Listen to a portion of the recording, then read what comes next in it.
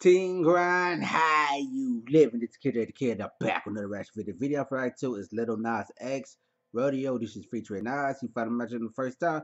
Make sure you like, comment, subscribe, and check his out social medias. Follow my Instagram, Android with two point kid underscore. Leave a comment down below. Let me know what you're at. Man, shout out to all the shout ninjas out there. I also have a cash app. Donate to the cash app. Help the channel. Link for the description below. You know what? I'm gonna listen to the song first, then I'm gonna say my thoughts afterwards. Let's get to the video. Hello?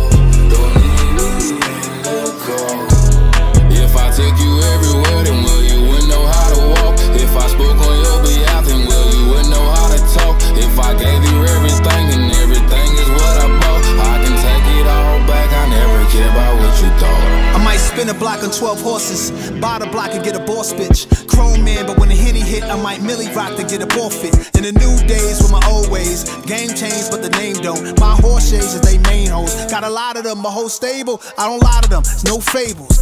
Rap on country flavor. Now we worldwide, we made a big brand, now our catalog is so major. Rodeo or Rodale, portfolio is so player. Tomato or tomato, Nas X or Big Nas, this shit ride. And Nas X.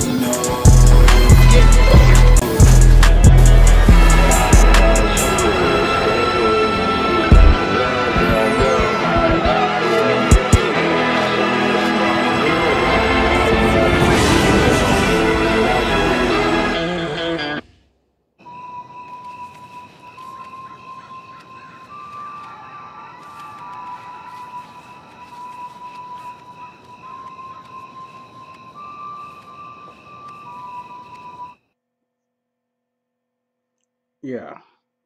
I'll be honest with you saying that the song is side. It ain't it ain't that bad. But overall, I just feel like Nas should not be working with Lil Nas X. None personal against Lil Nas X.